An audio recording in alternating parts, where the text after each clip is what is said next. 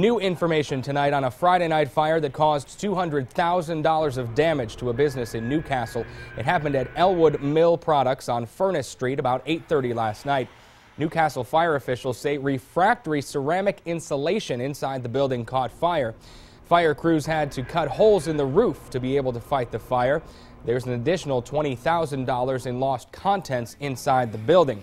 Fire crews were on the scene for about five hours. No one was hurt, and the cause is still under investigation.